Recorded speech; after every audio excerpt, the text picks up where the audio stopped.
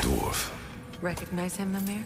I do not, sadly. Of course, the Einherjar disappeared a fair few dwarven rebels during the occupation. I suspect this is one of them.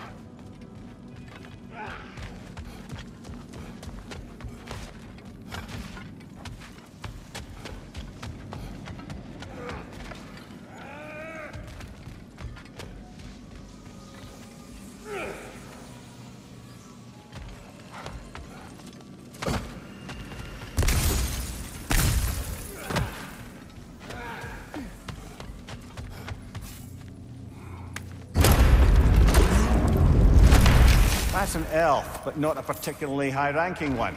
So what did Odin have to gain by imprisoning them? I'd say information, but why keep them locked up afterward? Why not just kill them? Careful, brother. These prisoners may not be as grateful for their freedom as one would hope. Oh, well, you're very bloody welcome.